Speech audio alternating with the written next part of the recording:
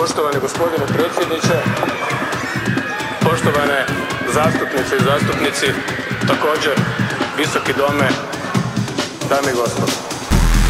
Poštovana gospodo, kakve ste vi spodobe na krvave ruke, čiste bile rukavice Poštovana gospodo, jesu li vanika prisili vaši obili domjenci i zdravice Poštovana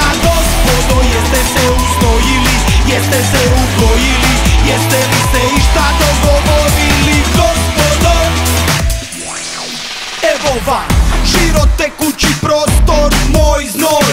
Broj telefona, visina i kilaža broj Cipela i datum rođenja, adresa stanovanja i prava skretanja.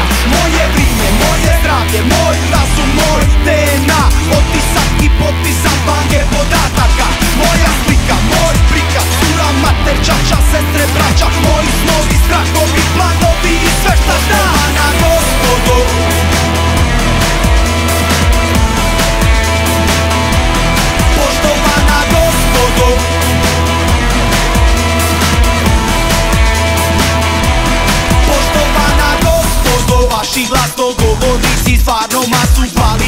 slažu rečenice.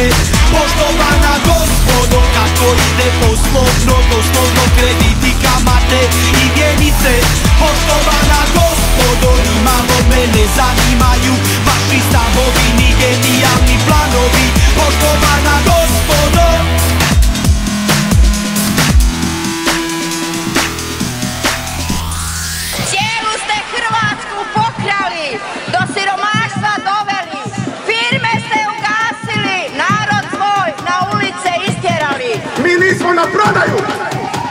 nismo za izdaju, mi nismo sramota ove države.